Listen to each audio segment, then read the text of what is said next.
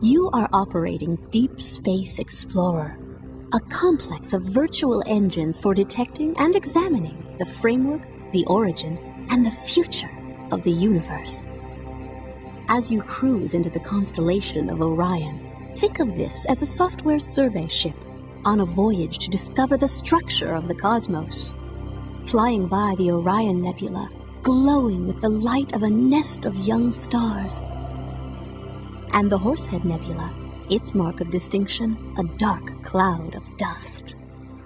You can pilot Deep Space Explorer much faster than the speed of light. Visit real places in the real universe, each a unique story. You're sailing now towards the Rosette Nebula, where fierce winds of adolescent stars clear away their dusty birth cocoons like the eye of an interstellar hurricane. And you can navigate Deep Space Explorer more than 10 billion years in the direction of the beginning of time. Picking up now the Crab Nebula, all that remains of a supernova whose light reached Earth in 1054 AD. It is today the home of a pulsar. Leaving the crab behind, you slew your sensor array around to look towards the bright region at the core of this, your home galaxy, the Milky Way. At the heart of its bright core, a monster black hole, two million times more massive than your sun. Every star you have ever seen, and everyone you have ever known, falls behind you now. You are rising above the plane of the Milky Way's spiral arms, catching a glimpse of the large and small Magellanic Clouds, heading out towards the realm of the distant galaxies, and back into deep time. That's Andromeda, two million years away at light speed.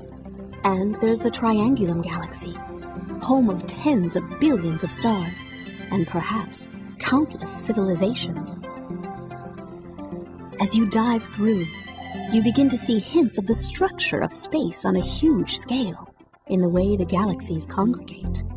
Here come Messier 81 and 82, a pair of interacting galaxies, the latter exploding with newly forming stars.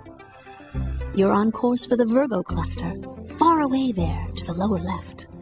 Visible structures like the Pinwheel Galaxy, and approaching now, the Whirlpool Galaxy are not all that there is. Most of what's in the universe cannot be seen. Halos of mysterious dark matter surround all these galaxies, and the enigma of dark energy is everywhere. Deep Space Explorer calls up a plot of everything that is known within a box 700 million light years on a side, with the Milky Way at its center. Impressive, but merely 3% of the way to the observable edge of the universe each point of light an entire galaxy, and there are 28,000 of them, each filled with tens of billions, and some with hundreds of billions, of suns. Every point in this compendium of data is in its proper observationally confirmed place, the collection of astronomer Brent Tully you, the user of Deep Space Explorer, really have an opportunity now to go out and actually discover things for yourself. Because we're talking about information here that's just coming in off the telescopes, and in its tremendous amount of information, it's like drinking from a fire hose to, to absorb all this information here, and astronomers, frankly, just haven't really done it very well. So you can go into Deep Space Explorer and go and see filamentary structures, go see voids, and you can have a pretty good chance of seeing something that hasn't been seen by anybody else, no professional astronomer. Just because they haven't had the time and it just hasn't they haven't gotten there yet. The distribution of matter and energy in the universe is not random. There is order here. Explorer reveals what no human eye has directly seen that the universe is organized like a volume of soap bubbles, an ever-expanding, roiling froth, with galaxies clustering along great arcs, and huge voids of the hardest vacuum between. You're following a filament of galaxies down to the Virgo cluster. With every light year that you travel, Deep Space Explorer's deepest purpose is to help you feel the true scale and scope of the place you call home. vectoring now for a rendezvous with the gigantic galaxy called Messier 87.